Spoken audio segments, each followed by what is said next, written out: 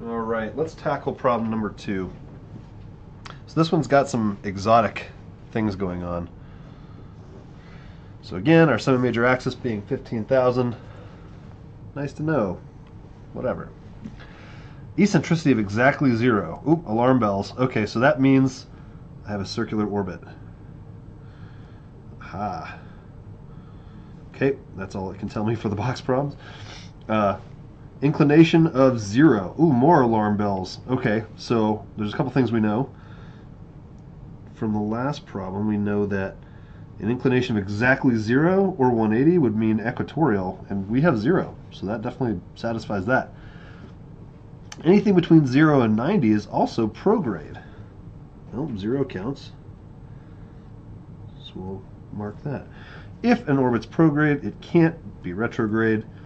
And if it's an equatorial orbit, there's no way it could be a polar orbit, so we'll cross those out. Now we've got some very weird things, right? Uh, RAN is, of course, undefined because, you know, if, if you're always on the equator, that means you're never ascending from the southern hemisphere to over the northern hemisphere. You're just always sitting on the equator, uh, spinning around the Earth. How nice. Okay. And if that means if I don't have RAN, how can I measure argument of perigee? And if I don't have a perigee, uh, because it's perfect circle and every part's equally close to the Earth, so no perigee, well, then how do I measure true anomaly? Okay, well, we address all that with what we call an alternate COE, uh, which is this bad boy, uh, argument of longitude. And basically, it starts off at I hat, and we measure it all the way around to uh, where the satellite currently is. So let's draw that. So basically, for this problem, very kind of exotic, we only have the top view. I draw my ice caps, my little K hat coming out of the board at us, coming out of the paper, I should say. Let's draw our I hat right here.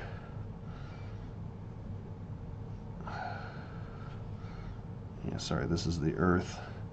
This is the orbit. Okay. Um, you can tell it's the Earth because of that. okay. All right, so here's our I hat, pointed out to the right there. Let's trace out basically 180 degrees worth of true longitude, or sorry, argument of longitude. boom, spacecraft location.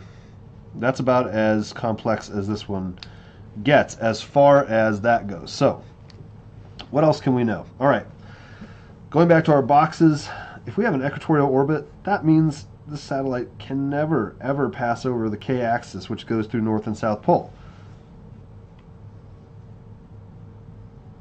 So we'll cross those out. Can I be at perigee or apogee if my orbit doesn't have a perigee or an apogee? Right? It's perfectly circular, so no. Can I be at an ascending node or a descending node if I never cross the equator because my inclination is zero? No, I don't have an ascending node or a descending node. So what we're left with is trying to determine if it's on I-axis or J-axis, and well, we kind of found that out with our picture here. Uh, you started off at I hat, and we measure argument of longitude all the way around where the satellite is. So technically, yes, we are on the I axis. Why? Because, well, technically this is negative I hat. So in our box problems for our GRs and homeworks, yes, that counts. It is still technically on the I hat axis somewhere. It just happens to be on the negative side. So we can say, yes, it's on I. And since J would be coming out here like this, we can confirm it is not on J. Oop. Cool, that about takes care of problem number two. All right, let's tackle problem number three. Again, semi-major axis being 7,000. How nice. Blah, cross that out. Okay, eccentricity of 0.4. Uh, does that mean we have a circular orbit or an elliptical orbit? Well, we remember from problem one, if we have any uh, eccentricity that's above zero, like anything other than zero, it's not circular. Okay. I equals 90 degrees. Ooh, warning bells, warning bells. That means we have a polar orbit, right? If it's exactly 90, we know we have a polar orbit. Now, if it's polar, it cannot be equatorial, it cannot be prograde, It cannot be retrograde, and it is polar. Okay, so this is going to add an interesting uh, problem for us. Uh, just like problem number one, where we had to draw a top view, we're going to have to draw a side view of this orbit, um, or put another way, I'll show you, but we're basically going to do an, a side-on view of the Earth, which is not what we're usually doing. But, okay, so inclination of 90. Great. Let's draw our picture as we do.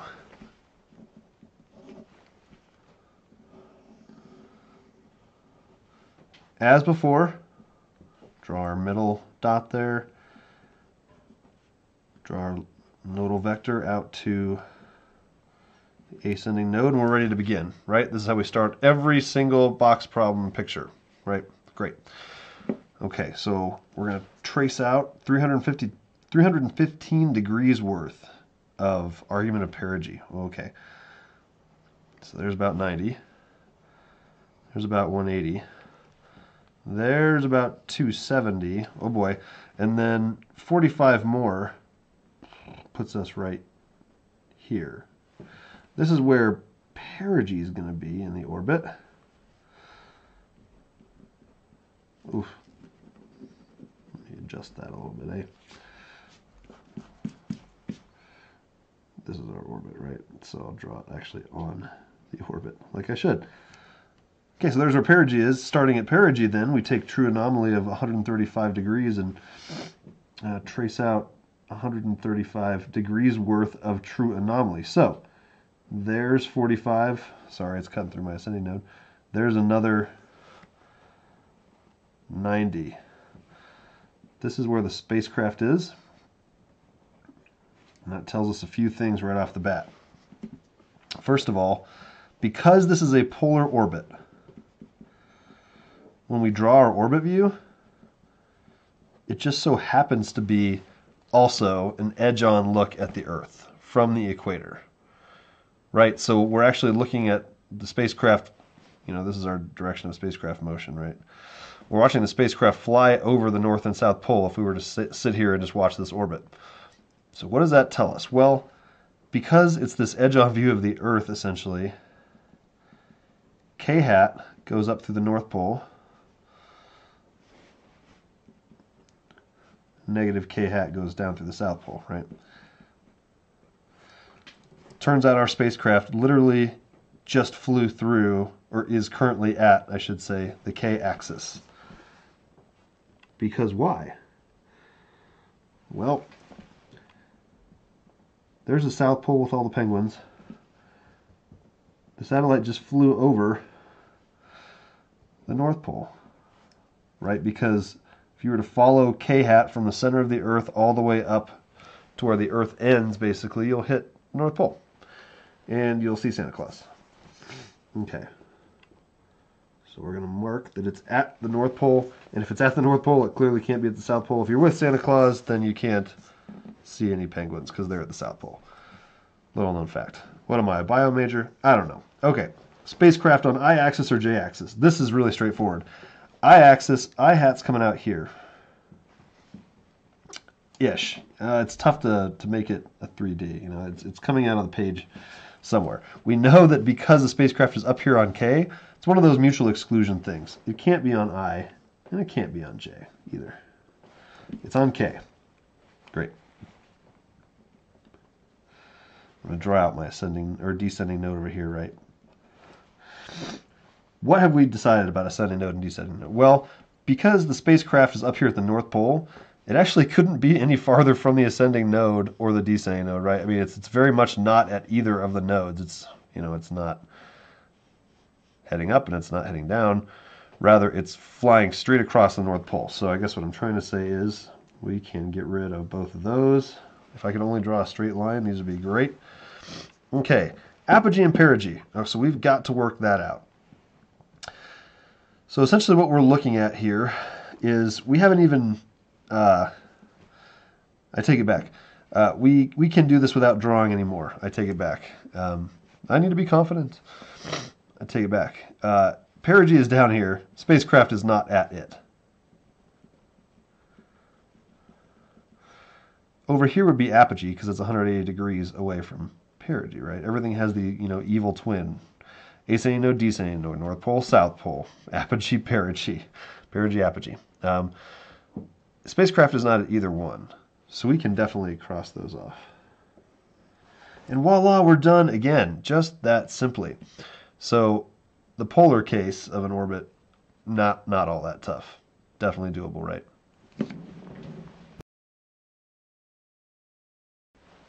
All right, let's go ahead and tackle problem number four. Okay, semi-major axis of 26,000. You guys know what I'm going to say. Doesn't tell us much for this problem. Let's look at eccentricity being 0.7. Does that tell us we have a circular or an elliptical orbit? Well, anything, again, bigger than zero means it's not perfectly circular. So we can get rid of that. Inclination of 63.4. Hmm, that does not indicate equatorial to me because it would need to be 0 or 180 for equatorial. It does indicate prograde, right? Because we know it's between 0 and 90. It, and if it's prograde, it can't be retrograde inclination, right? And unless the satellite is in an inclination of 90 degrees orbit, it can't be polar. All right, so no, it's prograde. All right, so far so good. RAN of 90, we'll come back to that. So, let's go to the picture as we do. All right, so you know what we're going to do. We're going to draw this circle. Put our little dot in the middle. You know what it is. You know what it is. Line of nodes, nodal vector pointing out to, you guessed it, the ascending node. And as always, we're going to assume our satellite's going to move in this direction. Cool. Doesn't mean it's down here, by the way. It just means I'm, I'm moving counterclockwise. Okay. So, as always, we're going to start you know, with the nodal vector as our shelf kind of and bounce off the diving board, trace out however much argument of perigee we have. Turns out we have argument of perigee of 270. So, you know, there's 90, there's 90, and there's another 90. Okay. As before, we're going to use that to basically give ourselves our eccentricity vector, which points to, as you guys recall, perigee closest point in the orbit to Earth. Now we're going to use this true anomaly of 90, right? We're going to start at perigee and draw our way around to where the spacecraft currently is. That's about 90 degrees worth.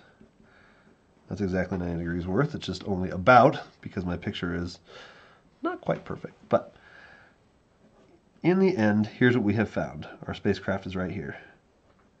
All right. First things first, let's just let's just attack this. If it's at the ascending node, can it be at the North Pole or the South Pole?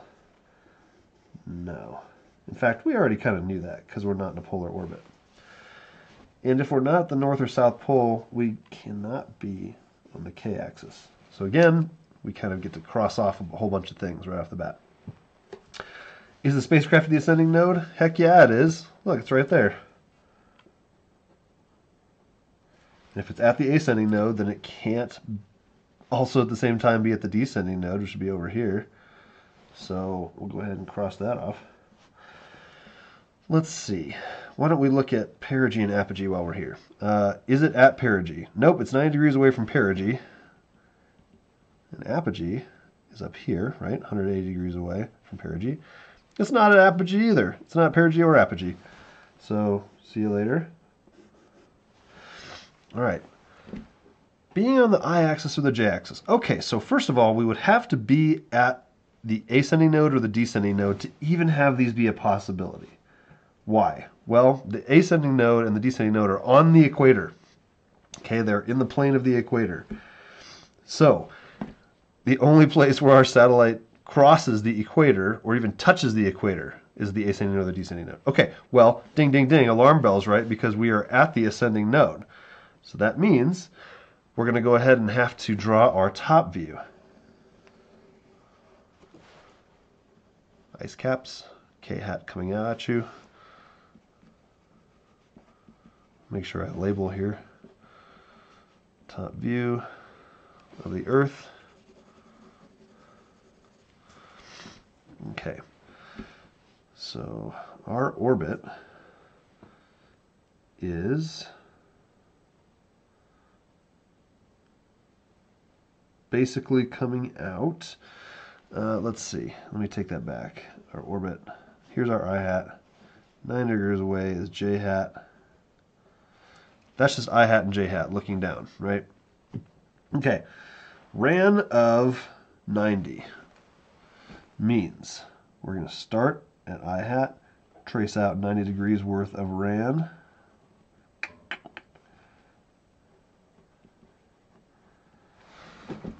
So what that's telling us is that the spacecraft being at the ascending node, that means it's somewhere around here on the equator, but it's in a very special place because it is 90 degrees away from I hat. So not only is it at the ascending node, the ascending node happens to be on the j-axis. And if it's on j, you can clearly see it's not on i. All right, and we've done problem four. All right, let's tackle problem number five. All right, our center major axis of 7,000. That doesn't do much for us with box problems. Just go ahead and cross that out. Who cares? Okay, here we go. Eccentricity of zero. That's something fun. Okay, so that's going to tell us we have a circular orbit, right? Great. Inclination of 98 degrees. Ah, if, if it was 90, we'd know it was polar, but it's not quite 90, so it's not polar. And since it's not zero, we know it's not equatorial. If it was between 0 and 90, remember, it would be prograde, but it's not. It is instead retrograde, right? Because it's between 90 and 180. Cool.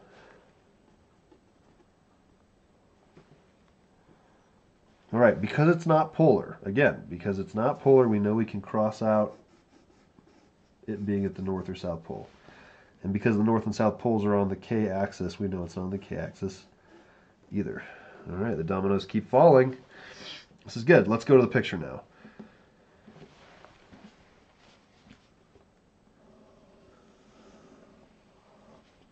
Problem number four, orbit view. Start in the middle, draw our nodal vector out to the ascending node. All right. Now, we've already encountered a problem right? Because what we usually do is trace out our argument of perigee. Undefined, because we have no perigee, which means that true anomaly is undefined. Oh, brother. Okay. Well, no problem. We have this thing called argument of latitude, and we abbreviate it with a U. Who, me? Yes, you. Ha ha ha. Uh, we uh, argument of latitude, for some reason, is abbreviated with a, a U. And we kind of use that in the same way that we use true longitude. But basically, U, we start off at the ascending node. So kind of draw our stuff out here. And we draw ourselves around.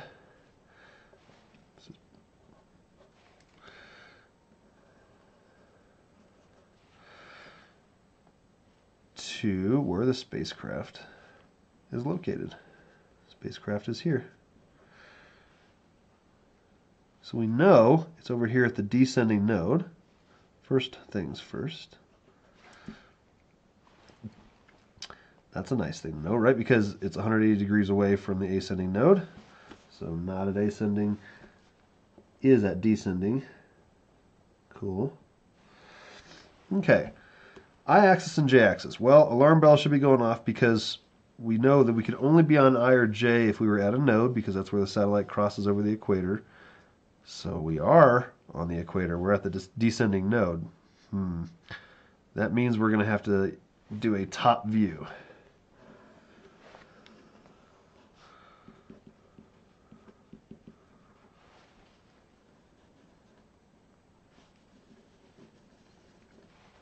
And use ran. Right, so we'll draw our i hat out this way, and j hat is 90 degrees away as always, and k hat's coming out of the paper at you. So starting at i hat, tracing out around 135 degrees worth of RAN. Well, that tells us that although the spacecraft is at the descending node, that descending node is not on I hat or J hat, right? So we can thankfully cross those out. Now here's kind of a tricky thing. Because we don't have an argument of perigee, we can't have perigee and we can't have apogee. Well, that takes care of number five.